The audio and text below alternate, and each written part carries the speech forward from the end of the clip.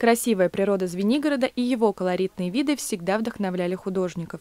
Здесь рисовали свои полотна многие знаменитые живописцы. Одним из них был и Исаак Левитан. 30 августа ему исполнилось 115 лет. В этот день в Звенигородской библиотеке прошел мастер-класс для ребят из многодетных семей и детей участников СВО. Сегодня мы будем их знакомить с Левитаном и рисовать картину, одну из картин а, «Осень в Сокольниках». Это традиция, то есть э, наш проект, он предполагает взаимодействие и профессиональных художников, и детей. Э, партнерами нашего проекта является администрация города Звенигорода, Одна из самых известных работ автора «Осенний день Сокольники».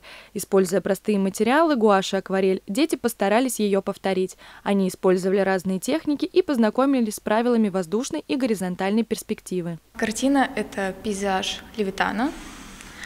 А, использовала сложные намешанные оттенки, а, вообще обычные оттенки, которые есть в стандартных наборах краски, я не использовала.